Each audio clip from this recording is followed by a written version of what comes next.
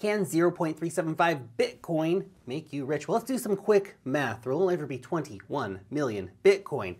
There are currently 56 million millionaires in the world, meaning there is only enough Bitcoin, not accounting for the millions of Bitcoin that's already been lost, obviously, for each millionaire to have just 0.375 Bitcoin.